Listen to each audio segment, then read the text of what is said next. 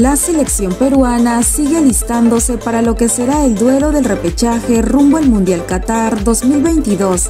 Ayer se pudo conocer que Claudio Pizarro fue al hotel de concentración del plantel en Barcelona, por lo que el ex capitán les dio aliento y también los acompañó a analizar el partido entre Australia versus Emiratos Árabes Unidos.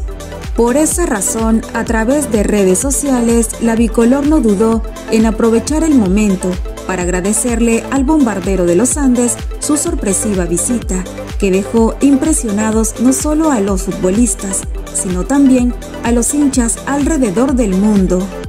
Encuentro con el 14.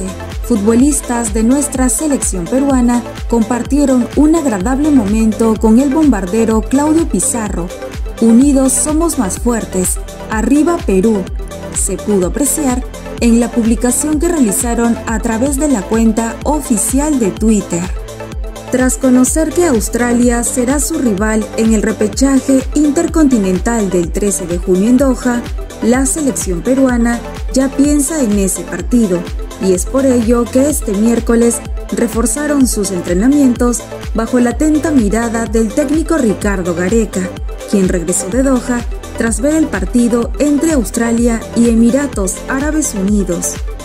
Bajo la dirección de Ricardo Gareca, los 28 futbolistas de la selección peruana cumplieron un nuevo entrenamiento este miércoles en el Centro de Alto Rendimiento de San Cugat. La práctica consistió en trabajos en espacio reducido, como también trabajos de definición. Los jugadores nacionales recibieron el apoyo de la afición peruana residentes en España, quienes se acercaron al centro de entrenamiento para darles su aliento y pedirles firmas de autógrafos en camisetas. El rival de la blanquirroja en el repechaje intercontinental será Australia, rival al que enfrentará el próximo lunes 13 de junio en el Ahmad Bin Ali Stadium de Qatar.